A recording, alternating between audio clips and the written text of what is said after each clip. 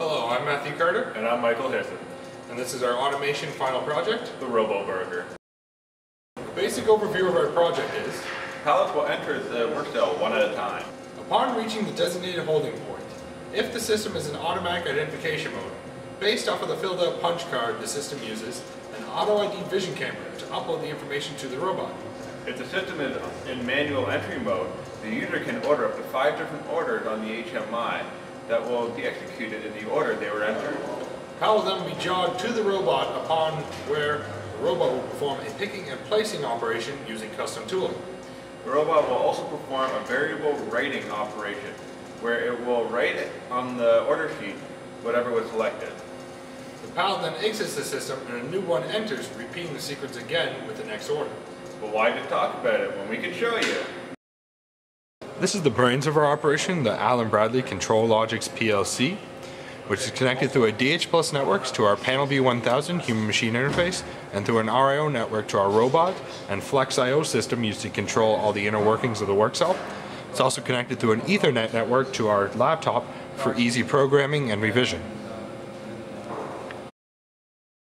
This is the PanelView 1000, the HMI. Uh, we use this to control the work cell in manual mode. Um, we also use it to monitor it in automatic mode, as well as use it for the manual entry mode. This is the FANUC M6IB robot used in our project for picking and placing operations as well as writing operations. This is the Flex IO chassis, which communicates with the ControlLogix PLC for operation of all work cell conveyors and solenoids, and for sensing of all work cell proximity sensors and photocells. This is the Vision Camera Automatic ID, used for automatic identification of all entered order sheets. This is our panel view screen right here. Uh, this is our main menu. Uh, there's various different options you can do. You can go to the manual mode screen, automatic mode screen, manual order entry screen, automatic order entry screen, works on the status screen, and the entry conveyor screen. First we'll go to the manual mode screen. From here, you can control the lift locate, the lift transfer unit, pre-stop to the work cell, the conveyors forward and reverse, as well as the entrance conveyor forward and reverse. To set their speed, you have to go to the entrance conveyor screen.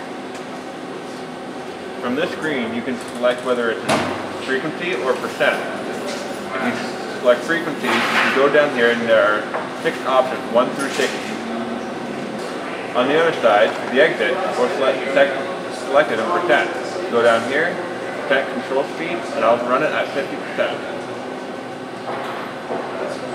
Now that that is set, I can go back to my manual screen and run my conveyor in forward and reverse.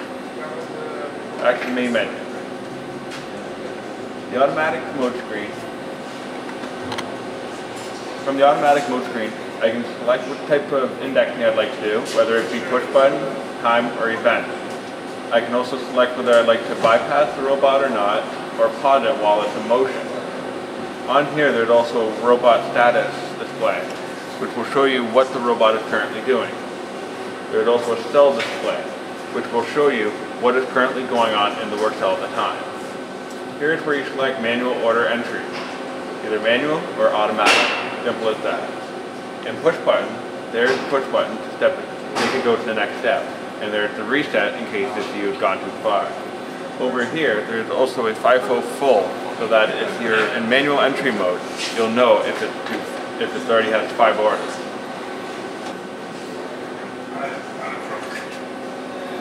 Here's the manual order screen. You can select up here your whole wheat or your white, lettuce, tomato, pickles, and cheese. To enter an order, you select what you like,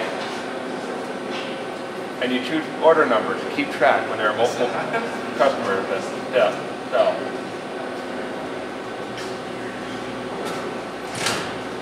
If your order number is good, which cannot be zero or repeated, press the load button and your order will be loaded in. Over here you can see there's order 5, 4, 3, 2, 1, which are all waiting to be made. down here is the final order that is currently being prepared in the work cell.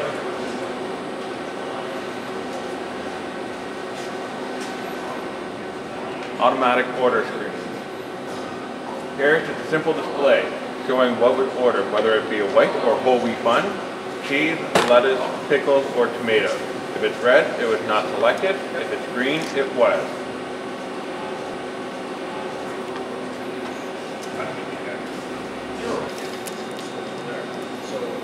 Work cell status screen. From this screen, you can see the entrance conveyor speeds when you're in automatic mode. You can also see various bits that have some importance, whether they are red for zero or green for one.